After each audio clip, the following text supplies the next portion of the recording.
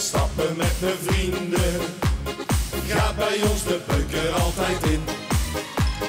Tafels vol met bier en nog wat wijntjes. En daar sta ik dan ergens tussenin. Maar is het halverwege op de avond, dan moet dat water ook een keer eruit. Maar kan ik dan alleen maar op een dictie, dan peer ik er meteen al.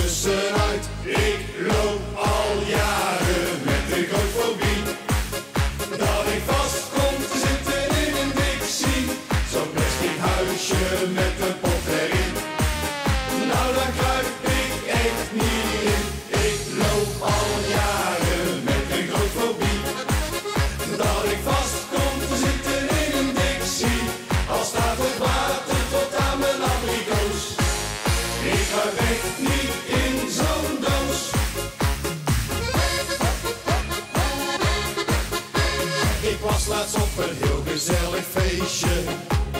En ik deed het al bijna in mijn broek. Ik vroeg, kan ik hier ergens toiletteren? De Dixie staat daar buiten op de hoek. Ik keek heel even door de coniferen. En daar zag ik dat frisse ding al staan. Nee, voor geen goud trek ik